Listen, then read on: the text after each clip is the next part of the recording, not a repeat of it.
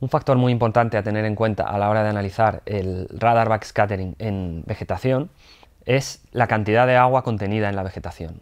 Es un efecto similar al que ocurre con el suelo. A medida que las plantas contienen más agua, su backscattering aumenta porque su constante dieléctrica aumenta.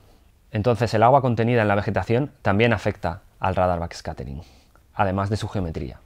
Podemos ver, por ejemplo, que cuando las plantas eh, se secan, a medida que las plantas se van secando, van perdiendo contenido de agua, se van volviendo más transparentes al radar. Su cantidad de backscattering disminuye y también la penetración de las ondas electromagnéticas a través del volumen aumenta, por lo que podemos ver cómo disminuye nuestra componente de volumen, de scattering de volumen, y aumentará nuestra, nuestra scattering de superficie.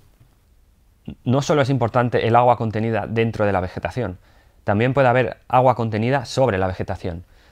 Esto pasa especialmente cuando tomamos imágenes por la mañana, temprano, eh, después de una noche fría, puede acumularse rocío encima de, de las hojas, encima de las plantas, y esto puede afectar también significativamente al backscattering. En este caso aumentará, ya que será un mayor contenido de agua, lo que hará que la constante dieléctrica global aumente y por lo tanto aumente el radar backscattering. A medida que pasa el tiempo, a medida que pasa el día, este, este agua acumulada en la superficie de las hojas o en, o en la superficie de las plantas se puede evaporar y entonces nos puede cambiar la respuesta radar de e, esa misma planta. Por lo tanto, podemos observar una cierta variabilidad en términos de radar backscattering en la vegetación con respecto al ciclo diurno. Además, toda este agua contenida en la vegetación también afecta a las ondas que se propagan a través de esa vegetación. Es decir, cuanto más agua, cuanto más contenido en agua tenga esa vegetación, eh, más difícil va a ser que la onda se propague a través de esa vegetación y por lo tanto va a haber una mayor eh, extinción y, va a haber menos penetración en ese volumen, lo cual puede afectar a la respuesta global ya que es una mezcla entre volumen, superficie y doble reflejo entre, entre la superficie y el tronco o los tallos de esa vegetación.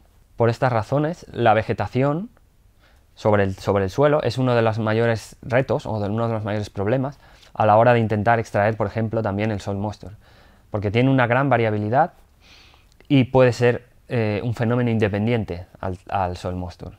Por esta razón, la vegetación sobre el suelo es uno de los mayores retos a la hora de intentar extraer la humedad del suelo. Cuando nos encontramos la vegetación, nos encontraremos que afectará a la respuesta del suelo tanto a nivel de propagación, ya que vemos el suelo a través del volumen, y por lo tanto será muy difícil eh, extraer eh, separar una componente de la otra.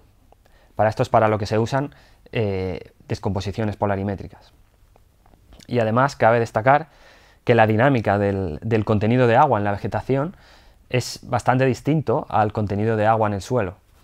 Lo que tenemos es que en las plantas, durante el proceso de crecimiento, eh, suelen tener un contenido de agua muy alto, que no varía mucho con el nivel de humedad del suelo, y a medida que esas plantas entran en el proceso de reproducción y, en el proceso de maduración, ese agua va empezando a disminuir hasta que en los últimos estados fenológicos de la planta las plantas se secan y entonces se vuelven prácticamente transparentes. pierden prácticamente toda su cantidad de agua.